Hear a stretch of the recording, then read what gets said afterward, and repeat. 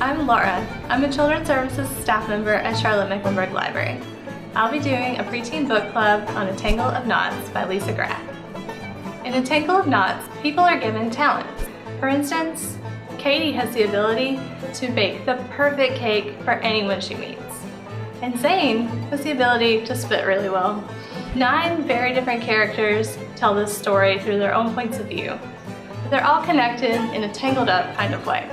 All of the activity in this book leads up to the big cake baking contest where all of the characters end up finally being brought together. You'll love this book if you want more of a realistic story, but with a touch of magic.